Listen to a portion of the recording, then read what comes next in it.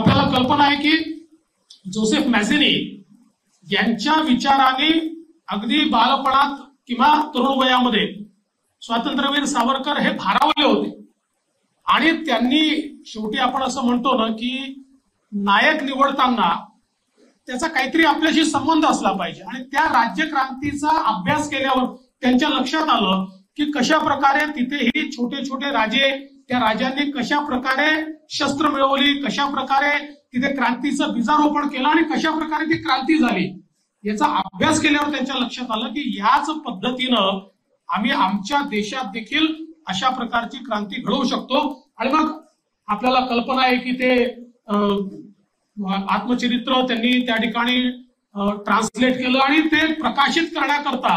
खूप अडचणींचा सामना करावा लागला पण ते शेवटी तीन चार पाच देशांमध्ये जाऊन ते प्रकाशित करून आणि त्यातनं पहिल्यांदा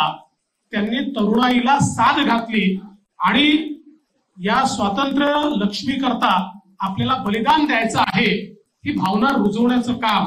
हे खऱ्या अर्थानं स्वातंत्र्यवीर सावरकरांनी केलं.